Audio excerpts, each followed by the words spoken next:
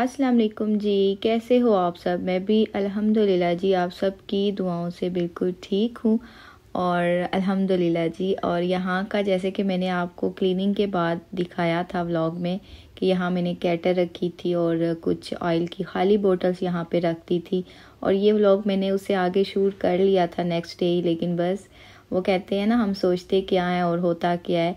तो बस ऐसा ही कुछ सीन हुआ। मुझे नहीं पता था कि मेरा पूरा एक वीक बीमारी में गुजर जाएगा।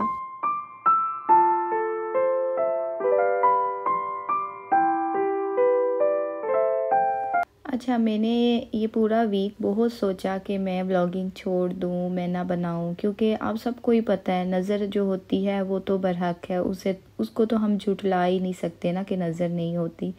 लेकिन इस पूरे वीक में मैंने ये देखा है कि अगर मैं व्लॉगिंग ना करूँ तो मुझे बहुत डिप्रेशन हो जाएगा। तो मैं डिप्रेशन से बहुत मुश्किल से निकलती हूँ। और यकीन करें, चार पाँच दिन मैं बेड पे रही हूँ तो मेरी जो कमर थी और मेरा जो मेंटली हेल्थ थी ना, वो ज़्यादा डिस्टर्ब हो रही थी। तो बस क्या करें, मेरी सिर्फ़ ये एक मजबूरी है। यकीन करें, मुझे ख़ुद भी बहुत मुश्किल लगता है। लेकिन मैं अपने आप को बस थोड़ा बिज़ी रखती हूँ, क्योंकि मेरे पास घर के कामों के अलावा, देखिए, मैं ना कहीं आती हूँ, ना जाती हूँ। अब तो तकरीबन डेढ़ साल तो हो गया है, दो साल होने ही वाले होंगे कि मैं आपके साथ ही हूँ, आप मुझे देख रहे हो। तो आपने देखा ही होगा कि मैं कितना ही कहीं जाती हूँ, रहती हूँ, या आना जाना कितना ही है हमारा। तो ये चीज़ें होती है ना, एक ही रूटीन में रह रह के आप डिप्रेस हो जाते हैं। तो वो फिर जो है डॉक्टरों के चक्कर और मेंटली हेल्थ आपकी डिस्टर्ब, बच्चे डिस्टर्ब, घर पूरा डिस्टर्ब। तो बस फिर मजबूरन मैंने कहा, नहीं, इससे बेहतर यही है कि मैं अपना व्लॉगिंग की तरफ़ आऊँ, अपना यूट्यूब के यूट्यूब पे एक्टिव रहूँ तो वो ज़्यादा बेस्ट है।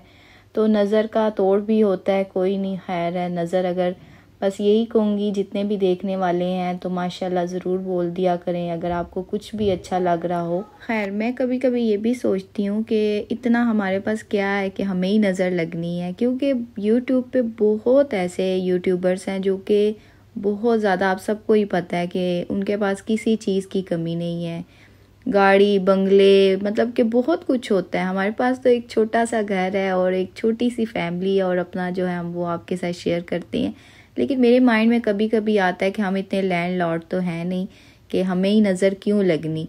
लेकिन हमें नहीं पता होता कि देखने वाला किस नज़र से हमें देख रहा होता है, क्या है, क्या नहीं। अच्छी नज़र से देख रहा होता है, बुरी नज़र से देख रहा होता है।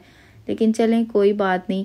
मैं लेकिन अपने दिल को यही तसलियाँ देती रहती हूँ कि नहीं, इतना कौन सा इतना हम वो हैं कि हमें ही नज़र लगनी है। बहुत सारे ऐसे यूट्यूबर्स हैं तो वो भी तो आखिर अपना सब कुछ बता रहे होते हैं व्लॉगिंग कर रहे होते हैं तो उनको नज़र नहीं लगती, हमें ही लगनी है। लेकिन चले, हर इंसान की अपनी अपनी सोच होती है, लेकिन चले, कोई नहीं, अगर नज़र लगती है तो उसका तोड़ भी होता है। अच्छा जी, यहाँ दिन के खाने में मैंने बनाया था शलजम और गोश्त, और जैसे कि बच्चों की नखरे और उन्होंने दिन को जो है वो सही तरह खाना नहीं खाया था। फिर शाम में मैंने उनके लिए बनाना था तवा चिकन और मेरा भी काफ़ी दिन से दिल कर रहा था कि मैं तवा चिकन बनाऊँ। तो यहाँ पे मैं तवा चिकन की मैरिनेशन कर रही थी। दही लिया, दही में मैंने जो भी मसाले डाले आपने देख लिए हैं। यहाँ पे काली मिर्च और ज़ीरा पाउडर भी डाला और उसके बाद लहसुन का पेस्ट और लेमन जूस जो है वो भी अच्छा खासा जाएगा और एंड में भी जाता है। लेमन से ही इसका सारा फ्लेवर आता है और बहुत मज़े का ये तवा चिकन बनता है और मैरिनेशन अगर आप करके दो तीन घंटे के लिए रख दें तो वो ज़्यादा जो है इसका फ्लेवर अच्छा हो जाता है। थोड़ा सा यहाँ पे मैं फ़ूड कलर भी ऐड करूँगी और बस उसके बाद जो है इसको मैरिनेट करके मैं छोड़ दूँगी दो तीन घंटे के लिए। और मैंने ये रात में बनाना था तो बहुत अच्छा फ्लेवर आ गया था। अच्छा यहाँ पे मैंने लेग के पीस जो थाई के पीस होते हैं ना, वो इकट्ठा ही एक एक पीस ले लिया था। तो इस तरह ज़्यादा मज़े का लगता है।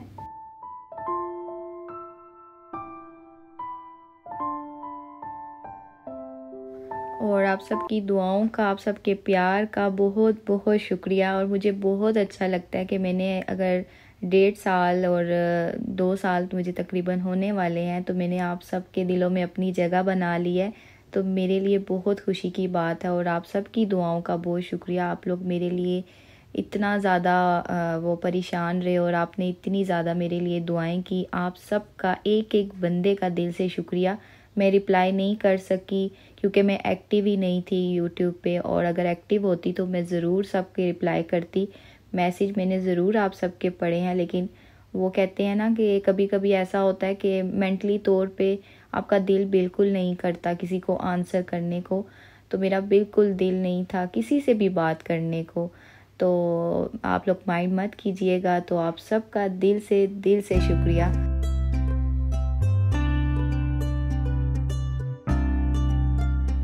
अच्छा यहाँ पे मैंने जो है दो टमाटर ले लिए थे और धनिया थोड़ा सा ले लिया था और छोटा सा मैंने एक प्याज ले लिया था। इसकी मैं प्यूरी बनाऊँगी और ये भी तवा चिकन में जाएगा और ये आप पर है कि आप डालना चाहते हैं तो डाल ले। नहीं डालना चाहते तो कोई इशू नहीं है। जो मैरिनेशन हुई है, उससे भी अगर आप बनाएँगे तो बहुत अच्छा फ्लेवर आएगा। तो यहाँ पे मैंने इन चीज़ों की प्यूरी बना ली थी और इतना अच्छा लग रहा था किचन में साफ़ सुथरे किचन में काम करते हुए। और मुझे लगता है मेरी अपनी खुद की नज़र लगी मुझे। क्योंकि मैं इतनी ज़्यादा वो पुरसकून और इतना अच्छा मुझे फ़ील हो रहा था कि मैंने कहा किचन अब बिल्कुल नीट एंड क्लीन हो गया है। लेकिन मुझे क्या पता था कि मैं बस, मैंने दो ब्लॉग शूट किए थे, एक ये है और इन एक आपको और भी मिलेगा। अपनी जो बीमारी से पहले मैंने शूट किए थे। और मैं जितना कहती हूँ, मैं यूट्यूब पे एक्टिव रहूँ और इतना कुछ ना कुछ मेरे साथ हो जाता है। तो फिर खैर चलें, कोई बात नहीं। यहाँ पे मैंने ये बड़ा वाला तवा निकाला था, ये स्टोर में पड़ा हुआ था तो मैंने कहा, आज मैं इस पे तवा चिकन बनाऊँगी। और इस पे जो है, इसको मैंने पहले अच्छी तरह साफ़ किया और क्योंकि तवा चिकन का मज़ा ही अच्छा सा, बड़ा सा तवा हो ना तो तब भी आता है। और चपली कबाब का भी जो है ना, इसी तरह होता है कि बड़े बड़े तवे हों तो उस पर ज़्यादा मज़े के बनते हैं। अच्छा जी, यहाँ पे मैंने सारा चिकन डाल दिया और उसके बाद ये जो प्यूरी बनाई थी, ये भी मैं डाल दूँगी। और इसको बिल्कुल हल्की आँच पे ना, मैं पकने के लिए छोड़ दूँगी। तकरीबन 20 से 25 मिनट लग ही गए थे।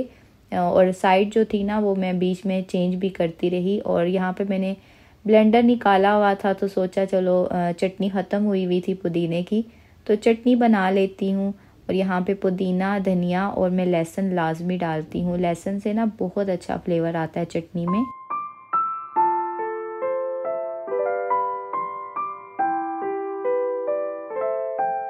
और चटनी आपकी पुदीने की बनी हो ना तो आप बड़ा जो होते हैं, वो रिलैक्स रहते हैं। कोई भी अचानक आ जाए या आपका कभी भी दिल करे तो आपको वो फिर एक मुश्किल नहीं लगता कि आप चटनी को पहले बनाओ और फिर चटनी खाओ। और फिर ये होता है कि फ्रीज़र से निकाला और फटाफट दही में डाला और अपना चटनी बन गई। तो मेरी जो है वो ख़त्म हुई हुई थी तो मैंने कहा बना के रख देती हूँ। और यहाँ पे ये कॉर्नर कैसा लग रहा है, मुझे बताइएगा। और यहाँ से मैंने कैटल उठा दी थी, वो अच्छी नहीं लग रही थी। क्योंकि बार बार मैं वो यूज़ करूँ ना तो मुझे मुश्किल होती थी निकालते हुए। तो इसीलिए यहाँ से मैंने कैटल को हटा के और ऐसे थोड़ा सा इसको डेकोरेट कर लिया था। और अच्छा जी, यहाँ पे चिकन की जो है वो मैं बीच में साइड वगैरह चेंज करती रही थी। लेकिन बस यहाँ पे अब देखिए पानी ड्राई हो गया था। कुछ चिकन ने अपना छोड़ दिया था, कुछ दही ने छोड़ा था। और बस बहुत अच्छा एक जूसी और एक बहुत फ्लेवर वाला जो है ना, वो तवा चिकन बना था। अच्छा इसके बाद जो है ना, जब पानी ड्राई हो जाएगा ना, उसके बाद आपने करना है इसको, कोयले का धुआँ देना है। कोयले के धुएँ से बड़ा अच्छा इसमें फ्लेवर आएगा।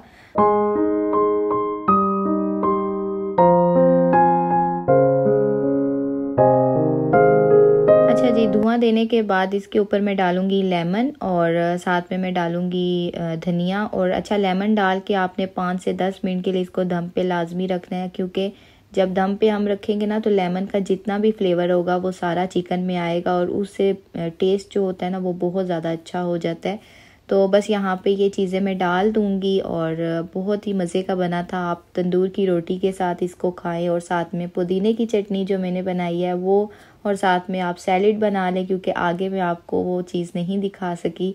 तो बस यहीं तक था जी मेरा आज का व्लॉग। और वीडियो अच्छी लगे तो लाइक ज़रूर कीजिएगा और मुझे स्पेशली अपनी दुआओं में याद रखिएगा।